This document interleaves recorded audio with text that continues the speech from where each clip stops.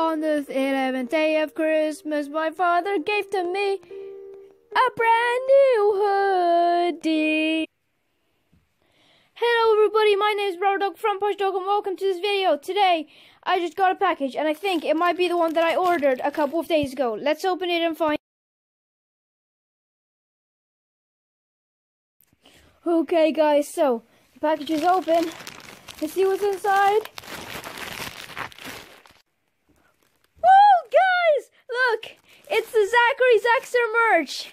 Whoa! Check it out, that's so cool. I'm gonna get it out of the bag.